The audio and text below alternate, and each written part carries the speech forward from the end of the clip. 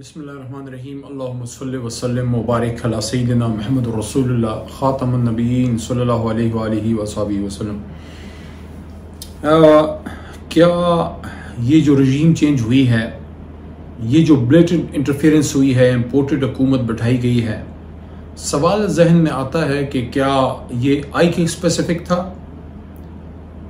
क्या इमरान खान साहब को हटाना ही सिर्फ़ मकसूद था या इसका लार्जर एजेंडा भी था क्या इमरान खान साहब कोई अपना ज़ाती ऐसा कुछ कर रहे थे जिससे बड़ी ताकतें नाराज़ थी? इस वजह से इमरान खान साहब को हटाया गया। क्या ये इमरान खान साहब का और तहरीक इंसाफ का ज़ाती एक नुकसान है? यानी एक आदमी को वज़ी अजम की कुर्सी से हटा दिया गया, एक बड़ी ताकत की ईमा पे? या इसका नुकसान ओवरऑल पाकिस्तान को भी हुआ है? अगर इस सारी रजीम चेंज ऑपरेशन के बाद जो ब्लेटेड इंटरफेरेंस डिक्लेयर की गई नेशनल सिक्योरिटी काउंसिल से दो मीटिंग्स में अगर इसके बाद सिर्फ़ एक सियासी हुकूमत की बदली हुई हो और एक और शख्सियत आई हो और हालात तकरीबन वैसे ही हों, या उससे बेहतर हुए हों या उसी तरह चल रहे हों तो फिर बंदा कह सकता है कि बस एक शख्सियत की किसी पॉलिसी से किसी को एतराज़ था आलमी साम्राज्य को और उसको हटाया गया, जैसे रूस वाला मामला कि रूस का दौरा हुआ और पाकिस्तान जो सन सैतालीस से ही एक तरह से बहुत ही ज़्यादा अमेरिकन के साथ अलाइन रहा है। और हमने आज़ाद पॉलिसी नहीं अपना सके। तो वो कह सकते हैं कि चलो एक पॉलिसी शिफ्ट को रिजेक्ट किया गया निगेट किया गया। लेकिन आज जो हालात सामने हैं उससे तो वाजे ये हो रहा है कि ये तो बेसिकली सिर्फ़ इमरान खान साहब पे अटैक नहीं है। यानी कि सिर्फ़ उनको नहीं हटाया गया बल्कि ये तो एक तरह से पाकिस्तान को डिरेल कर दिया गया है और मजीद डिरेल करने की तरफ़ ले जाया जा रहा है। हम्म, इमरान खान साहब की जो पॉलिसीज़ थी तो क्या उनमें कौन सी ऐसी पॉलिसी थी जिसको अब चेंज कर दिया गया है और बड़ा अवाम दोस्त बना दिया गया है? या बैन अवी सतह पर पाकिस्तान का बड़ा मैार और बड़ा पाकिस्तान की इज़्ज़त बढ़ी है पिछले दो महीने में? लोगों की ज़िंदगी तो तंग हुई है। लोगों को तो मसले बड़े हैं। हमारे ख़िलाफ़ शहबाज साहब ने और बिलावल साहब ने मरीम साहिबा ने और मौलाना फजल रहमान साहब ने महँगाई मार्चेस किए। तो अब महँगाई की क्या सूरत हाल है? यानी अगर आवाम को ये झूठा लारा दिया गया कि महँगाई को हम ख़त्म करेंगे तो वो तो डबल हो गई। और हम तो बड़ा कंट्रोल्ड वो तरीके से जा रहे थे और आखिरी चार पाँच महीनों में महँगाई बतदरीज कमी की तरफ़ आना शुरू हुई थी। अभी तो तीस परसेंट इन्फ्लेशन की तरफ़ हम जा रहे हैं। साठ साठ रुपए एक लीटर में जो है एक ही जंप हो गया। तारीख में कभी नहीं हुआ। तारीख में कभी नहीं। चार रुपए हमारे दौर में पेट्रोल की कीमत बढ़ी और उस पर बहुत ले दे हुई। मुझे याद है मफ्ता इसमाइल साहब ने जिस तरह से उन्होंने बात की थी कि हम इसको एक पैसा और जो है वो नहीं बन बढ़ने जो है वो देंगे। और फिर जिस तरीके से मफ्ता साहब ने मैं मैं, मैं एहतराम करता हूँ उनका लेकिन जिस तरीके से उन्होंने एक जो एक मज़ाक सा उड़ाया और जो वो मुस्कुराए तो बड़ा अजीब लगा कि एक तरफ़ तो कीमतें बड़ी हैं और आप मुस्कुरा रहे हैं उस पर बसत एहतराम एहतराम का रिश्ता भी है उनसे, लेकिन रियली ये तो बड़ा दुख है कि एक तरफ़ आवाम रो रही है, उनके पास यानी कि साठ रुपए एक लीटर में बढ़ने का मतलब ये है कि आप एक घर का बिल्कुल बजट आउट कर रहे हैं। वो शख्स जो मोटरसाइकिल पे है या छोटी गाड़ी पे है, या रोज़ वो किराए की गाड़ी पे जो है वो सफ़र करता है, बस में सफ़र करता है, अगर एक लीटर में साठ रुपए का जंप होगा, चार रुपए जब हमारा बड़ा था तो मिफ्ता साहब और उनकी और जो जमात के लोग हैं, उन्हें आसमान सर पे उठाया हुआ था। और अब जो ये हुआ है, और ऊपर से कह कहा भी, बड़ा अजीब लगा, और उस पर सुबह मैंने कहा भी, मेरा अपना शेर है, कि नमक छिड़क के कह कहा लगा के हँसते हो। नमक छिड़क के कह कहा लगा के हँसते हो? इकतदार ही है, खुदाई तो नहीं, फिर क्यों इस तरह बरसते हो? तो इस तरह आवाम का मज़ाक भी नहीं उड़ाना चाहिए, और मैं समझता हूँ कि पूरे मुल्क का मज़ाक उड़ाया गया है इम्पोर्टेड रजीम को इस तरह बैठा के, कि क्या गुनाह किया था पाकिस्तान ने जो उसको डिरेल कर दिया गया। जब दुनिया कोविड में नेगेटिव में जा रही थी, अमेरिका नेगेटिव में था जीडीपी जापान, जो दुनिया के कमायशी इंजन है जापान, जर्मनी, जो यूरोप का माशी इंजन है नेगेटिव जीडीपी माइनस में सारे जा रहे थे, हिंदुस्तान, पड़ोस में, दुनिया की बहुत बड़ी एक इकोनॉमिक पावर अपने आप को कहती है, और और है भी बिज़नेस में बहुत बड़ा, उनका एक रोल है साउथ एशिया में, पाकिस्तान से तो कई गुना उनका बिज़नेस मज़बूत है। लेकिन उनका नेगेटिव में गया। आखिर कुछ तो इमरान खान साहब ऐसा कर रहे थे कि दुनिया के बरखिलाफ हमारा उस जमाने में भी दो से तीन परसेंट प्लस में जीडीपी जा रहा था और उसके अगले साल पाँच, साढ़े पाँच को टच कर रहा था। और इस साल छह जो है फिगर्स आ गए हैं कि छह हमने टच किया। और इससे भी आगे बढ़ना था। अब वापस ढाई तीन पे आ रहा है। क्या पाकिस्तान का जीडीपी छह पे अच्छा था या तीन, साढ़े तीन ढाई पे अच्छा है? क्या पाकिस्तान की जो एक्सपोर्ट बढ़ रही थी, खासकर जो हमारी बड़े अरसे बाद हमारी एग्रीकल्चर एक्सपोर्ट और वैल्यू एडेड प्रोडक्ट्स बढ़ रही थी, पचास हज़ार पावर लूम्स फैसलाबाद में दोबारा चालू हो गए थे। लोड शेडिंग कमी की तरफ़ जा रही थी। मैं ये नहीं कह रहा, मैं झूठ नहीं बोलूँगा कि खत्म हो गई थी, लेकिन बतदरीज कमी की तरफ़ जा रही थी, जा रही थी। सिस्टम बेहतर हो रहा था। और उसके साथ साथ जो इकोनॉमिक डेवलपमेंट हो रही थी जो जो नई नई टेक्सटाइल और नई नई जो इकोनॉमिक जोन्स बन रहे थे। और पाकिस्तान की तारीख में 50-55 साल बाद शायद मरहूम अयूब खान साहब के बाद पहली बार एक बहुत बड़ा डैम का प्रोजेक्ट जो है आ, ये जो स्टार्ट हुआ मोमन डैम का इमरान खान साहब ने स्टार्ट किया। और भी बड़े प्रोजेक्ट्स जो है उनको स्टार्ट किए जो जो पाकिस्तान की इकोनॉमी में बहुत बड़ी रीढ़ की हड्डी साबित हो सकते हैं। जो हमारे हाइड्रिक, जो पावर प्रोजेक्ट्स हैं क्योंकि कोल तो बड़ा ही एक्सपेंसिव मियाँ साहब के दौर में लगा और उसकी अभी हम कीमत चुका रहे हैं कि अभी भी कुछ सात, आठ हज़ार, कुछ सात हज़ार मेगावाट का शॉर्टफॉल है। हालाँकि कैपेसिटी अठतीस सौ है अठतीस हज़ार उनतालीस सौ, उनतालीस हज़ार मेगावाट है thirty eight thousand thirty eight hundred megawatt के करीब हमारी थाउज़ेंड के करीब हमारी प्रोडक्शन कैपेसिटी है कैपेबिलिटी है, लेकिन कर कर पा रहे हैं क्या कि नहीं? नहीं कर पा रहे, क्योंकि मोस्ट एक्सपेंसिव है। कोल प्रोजेक्ट से उन्होंने लगाए तो ये जो हाइड्रो के प्रोजेक्ट्स इमरान खान साहब ने शुरू किए और उसको ग्राउंड ब्रेकिंग की और तारीखी इकदाम उठाए तो क्या नुकसान हो रहा था पाकिस्तान का? ये जो एहसास प्रोग्राम था जिसने मुश्किल में लोगों को उठाया और साथ में जो कामयाब पाकिस्तान प्रोग्राम, कामयाब जवान प्रोग्राम और उसके साथ जो हेल्थ कार्ड जो 10-10 लाख रुपए के लोगों को मिल रहे थे, लोगों की ज़िंदगी में बेहतरी आ रही थी और एक एक और एक देखें, मौका मिलता ना आवाम को। डेढ़ सवा दो साल, सवा एक साल रह गया था हमारा। उसके बाद फैसला कर देते, अगर वो हम नहीं ठीक थे तो एक नेचुरल प्रोसेस में शहबाज साहब को ले आते। लेकिन अब ये देखें, एक नई हुकूमत को आप सवा साल में क्या उसे एक्सपेक्ट करेंगे? एक हुकूमत जो आती है उसका पाँच साल का एक माशी एक दुनिया का एक, एजुकेशनल हेल्थ का मुख्तलिफ़ जो प्रोग्राम्स होते हैं पाँच साल को जहन में रख के प्लानिंग की जाती है जो इस तरह से हाइब्रिड रजीम प्लस बिठाई गई है इम्पोर्टेड रजीम जो बिठाई गई तो मुल्क से जुल्म के ऊपर जुल्म के एक तो इमरान खान साहब को हटाया गया उनकी हुकूमत को हटाया गया जो भी था अच्छे थे बुरे थे एक सिस्टम हम चला रहे थे उसके बाद जो दूसरे लेके आए हमसे दस गुना जो है उनकी यानी कि शहबाज स्पीड आपने देख ली जिस तरीके से उन्होंने सारा कुछ तबाही की तरफ़ लेके गए। लोगों की तो बड़ी एक्सपेक्टेशन थी कि बंदा छः सात बजे काम पे बैठ जाता है, फलाना हो जाता है, ये हो जाता है। पंजाब में पता नहीं वो लंबे बूट पहन के उन्होंने एक तासर बनाया था। हालाँकि सदर्न पंजाब, जनूबी पंजाब कभी भी जो है शहबाज साहब का जो है वो मदा नहीं रहा। लेकिन इस्लामाबाद में आके वजी अजम की कुर्सी पर बैठ के तो उनका ये जो एडमिनिस्ट्रेटिव जीनियस हैं मोहतरम शहबाज साहब, वो तो बहुत पाश पाश हो गया। वो तो जनाब सोमनाथ का बुत साबित हो गया।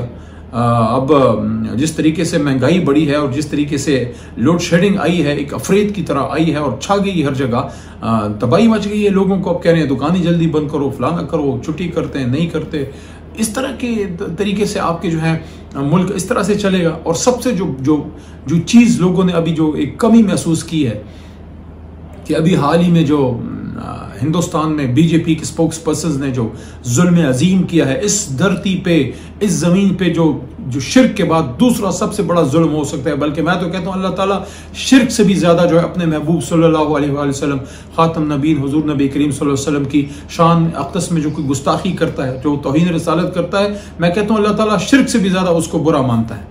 और शिरक से आ, के साथ ही दूसरा बड़ा गुनाह है जो ज़मीन की हस्ती पे धरती पे हो सकता है। और ये उधर हुआ। उधर हुआ। एक रिवाजी सी बात आई, हुकूमत पाकिस्तान की तरफ़ से, कोई पत्नी ट्वीट शीट आई है शहबाज साहब की तरफ़ से।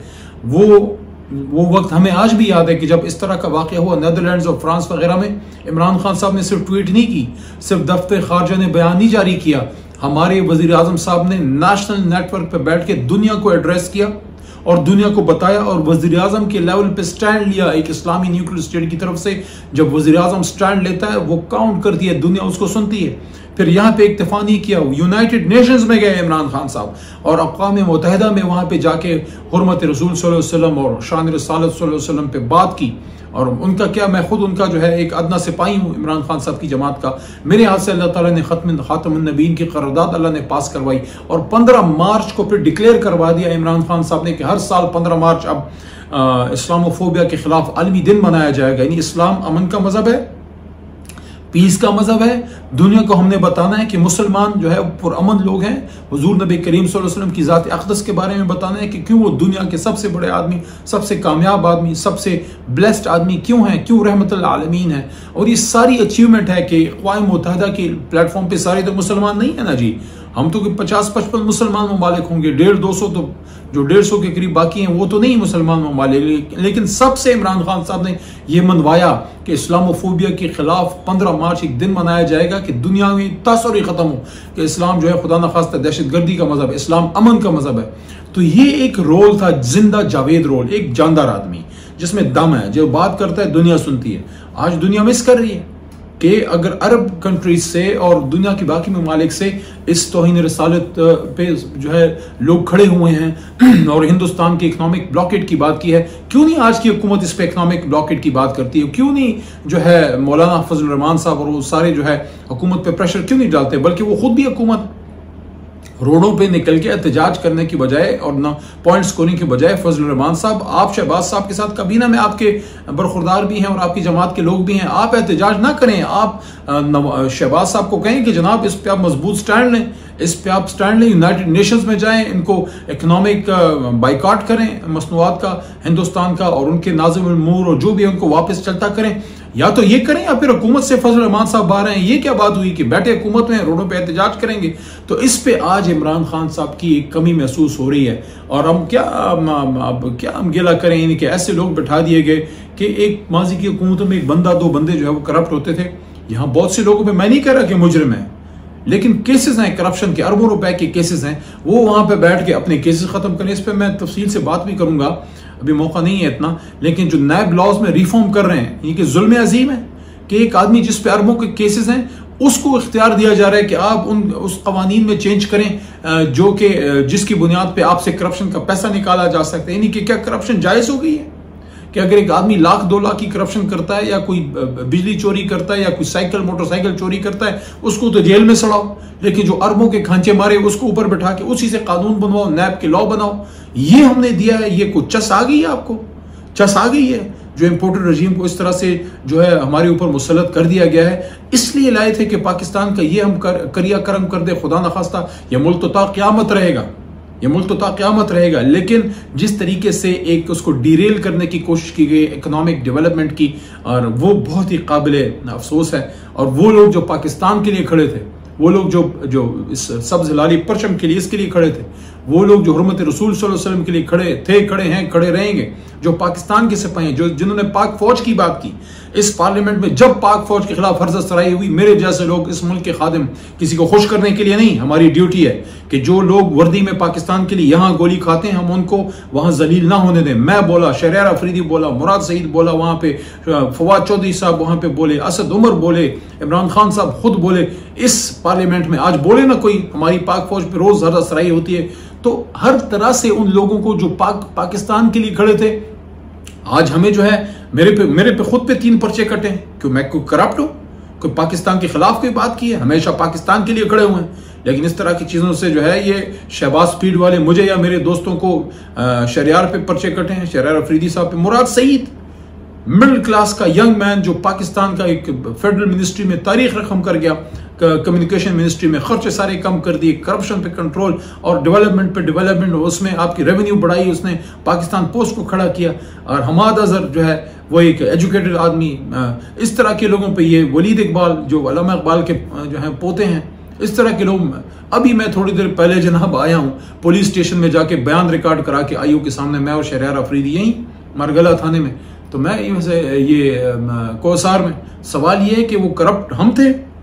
यानी कि आखिर में सारा स्टैंड लेके पाकिस्तान के लिए, हरमत रसूल वसल्लम पे, ख़त्म नबूत पे वसल्लम पे, पाक आर्मी के लिए, पाकिस्तान के लिए, पाकिस्तान की नज़रियाती असास के लिए, दो कौमी नज़रिए पे, पाकिस्तान के इस्लामी तशखस के लिए, कश्मीर के लिए आवाज़ बुलंद की, फ़लस्तीन के लिए आवाज़, इसराइल के खिलाफ खुलम खुला खड़े हुए भारत के खिलाफ, मोदी के खिलाफ खुलम खुला खड़े हुए, उसका इनाम यह है कि हम मुलजमान की तरह जाके बयान रिकॉर्ड कराएँ तो हम तो इससे डरते नहीं हैं। मैं तो खुद वकील हूँ, हम तो एक हज़ार दफ़ा चले जाएँगे। लेकिन ये साबित कर रहा है कि पाकिस्तान में जो पाकिस्तान के लिए खड़ा होता है, उसके साथ ये होता है, और जो पाकिस्तान की जड़ें काटता है, उसको ऊपर बैठा के उससे इकतदार जो है वो चलाया जाता है। तो मैं उन तमाम साम्राज्य ताकतों को कहना चाहता हूँ कि ये इस तरह की चीज़ों से जो है हमें ना तो डराया जा सकता है, ना पीछे किया जा सकता है। जल्द इंशाल्लाह दोबारा इलेक्शन होगा, और जो हक परस्त हैं जो दिल से पाकिस्तान के लिए खड़े हैं, जो सही मायने में खड़े हैं, जिनके बदन में एक कतरा हराम का नहीं है।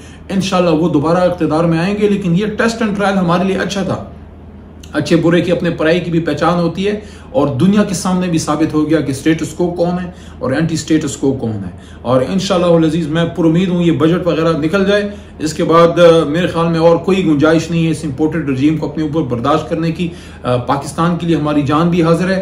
थोड़ा सा मैं अपने कारकुनों को भी कहूँगा, ये बजट तक आप सब्र कर लें। बजट के बाद आप अपने हौसले जो है दोबारा जमा करें और इस बार हम और भी ज़्यादा जो है भरपूर तरीके से निकलेंगे, पुरअमन निकलेंगे पीसफुल रहेंगे। तरीक इंसाफ का हमारे हाथ में झंडा होता था और दूसरे हाथ में पाकिस्तान का, बल्कि इमरान खान साहब जब कंटेनर पे थे, उनके हाथ में तरीक इंसाफ का नहीं, पाकिस्तान का झंडा था इमरान खान साहब के हाथ में। तो मैं इन सब लोगों को कहना चाहता हूँ कि वो जो आदमी लीडर है, जो उम्मत मुस्लिमा की अब असास है, उम्मत मुस्लिमा का जो है अभी अमानत है इमरान खान, क्योंकि वो पाकिस्तान की नहीं, उम्मत मुस्लिमा की जंग लड़ता है। वो हरमत रसूल की बात करता है। वो जो है कश्मीर पे लड़ता है, वो फ़लस्तीन की बात करता है, इसराइल के खिलाफ खुलम खुला खड़ा होता है, और वो आज़ाद खारजा पॉलिसी की बात करता है, वो पूरी उम्मत मुस्लिमा का लीडर है, उसके हाथ में तो पाकिस्तान का झंडा था इनशाला ये रहेगा। मैं तमाम लोगों को कहना चाहता हूँ, हौसले बिल्कुल नहीं हारने, हमने मुश्किल का सामना करना है, रोज़ की रोज़ जो है इस तरह की चीज़ें आती हैं मैं, ये नून वाले भी हमारे दुश्मन नहीं है, लेकिन उनको मैं सिर्फ़ ये कहना चाहता हूँ कि आप आए अवाम की ताकत से, लेकिन इस तरह बैरूनी इस्तेमाल की ईमा पे अगर आपकी लीडरशिप एक इस तरह की गेम करेगी तो कल को तो आप भी इधर इसी इधर होंगे। कल आप इस, आपके खिलाफ होगी कि आप बर्दाश्त करेंगे। मैं यहाँ लिख के देता हूँ कि अगर मुस्लिम लीग नून की हुकूमत होती, या हो, या किसी और की उनके खिलाफ भी ऐसी ब्लेट इंटरफेरेंस हो, बाहर से साजिश हो ड्रामा हो तरीक इंसाफ और इमरान खान साहब जो है, वो उस वक्त की हुकूमत के साथ खड़ा होगा, क्योंकि हमने अपनी सियासी लड़ाइयाँ इधर लड़नी है। हमारी ज़ाती लड़ाई कोई नहीं है, लड़ाई पाकिस्तान की है। हमारी ज़ाती लड़ाइयाँ जो हैं, वो पाकिस्तान को नुकसान ना दें बाहर से किसी को नहीं हम आपस में, हमारे में इंटरफेयर करने देंगे। बाकी हम कौन है ब्यूरोक्रेट्स, कौन है जजेस, कौन है और जनरल्स कौन है? हम सब पाकिस्तानी हैं। हम इस पाकिस्तान के लिए अपना किरदार अदा करें। लेकिन एक नुक्ते पे हम सब जो है मुतफिक हों कि हमने जो कुछ करना है, फैसले हमने पाकिस्तान के पाकिस्तान के अंदर करना है। बाहर की इमा पे कुछ नहीं करना और जो कुछ करना है, आइन के मुताबिक करना है। ये क्या बात हुई कि जनाब साढ़े तीन साल बाद जो चलता कर दिया गया, एक पॉपुलर तरीन हुकूमत को चलने देते? क्या होता है? पाकिस्तान में पहले कभी अदम एतमाद जो है, वो कामयाब हुई है? करप्ट से करप्ट लोगों के खिलाफ कामयाब नहीं हुई। हुई है तो ईमानदार से ईमानदार आदमी के खिलाफ कामयाब हुई है। वो एक आदमी, इमरान खान, जो जो जो वजी हाउस में रात गुजारने का भी रवादार नहीं था। रात में एक डायरी उठा के चला गया और ये तारीखी अल्फाज किया गया कि कोई राय तो नहीं गया जो मेरे खिलाफ हो। इमरान खान साहब, अल्लाह की ताकतें, अल्लाह पूरी पाकिस्तानी कौम आपके साथ है। किसने आपको कह दिया कि आप अकेले हैं? आप अल्लाह का शुक्र अदा करें कि इम्तहान आप पे आए और आपने देख लिया कि किस तरह पाकिस्तान के बच्चे, बूढ़े और ख़ासकर ख़वातीन, परदादार ख़वातीन इमरान खान साहब आपके लिए निकली। आप तो अल्लाह का शुक्र अदा करें।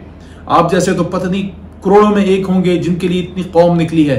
ये तो अल्लाह का शुक्र अदा करें कि आप पे इम्तिहान आया और आपने देखा कि कैसे ये कौम अपने लीडर के साथ खड़ी हुई है। बहुत शुक्रिया, पाकिस्तान जिंदाबाद। सब्सक्राइब करें और बेल दबाएँ ताकि कोई खबर रह न जाए।